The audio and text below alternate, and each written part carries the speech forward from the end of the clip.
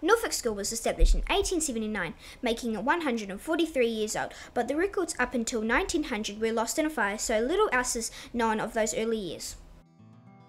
Nestled under the protective shadow of Mount Taranaki, Norfolk School was located between Inglewood and Stratford on State Highway 3.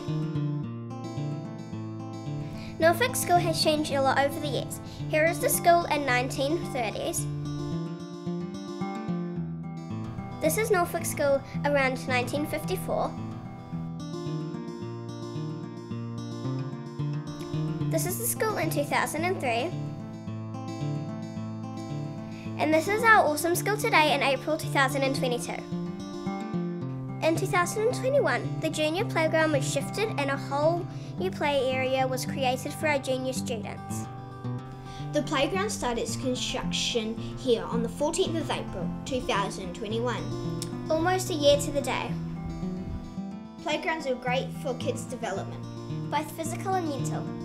You know what I like? What? Sandpit pies. Who doesn't like a good sandpit pie?